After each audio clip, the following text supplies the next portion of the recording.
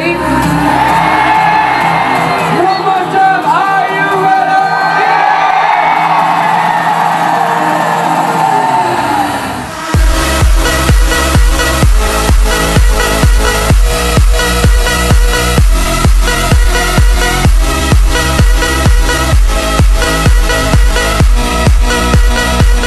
So tonight was the last day of the tour in Mexico. It was really, really incredible. Um, I have no word really. I'm I'm shocked. Uh, I've been to uh, Mexico a few times, but this tour was really, really my favorite, and uh, I'm looking forward to be back.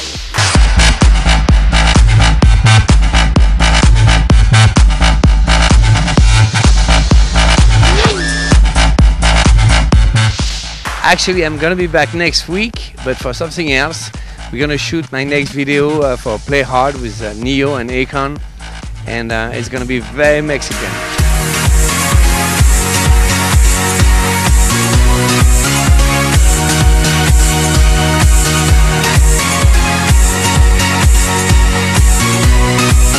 So one more time, thank you so much for the amazing tour.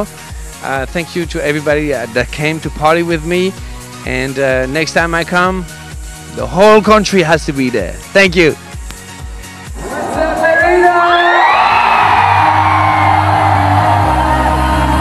So tonight is the very last show of my tour in Mexico. And I had such an amazing time in your country.